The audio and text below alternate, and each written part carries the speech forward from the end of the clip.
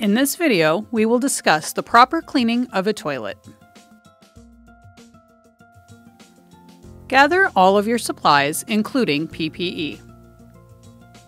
Take your bowl brush and plunge the water in the stool down. This will allow us to clean the water line in the toilet. Next, apply bowl cleaner to the bowl brush and inside of the stool. Scrub the inside of the stool.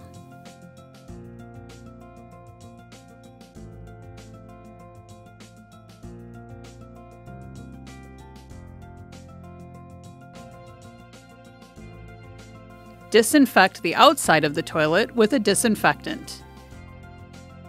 Be sure to disinfect the handle, the top, the side, and the base of the stool, including the seat.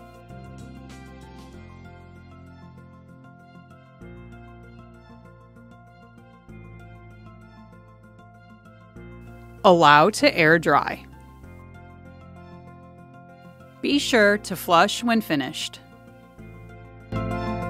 For further questions on these procedures, please contact your Martin Brothers Solutions specialist.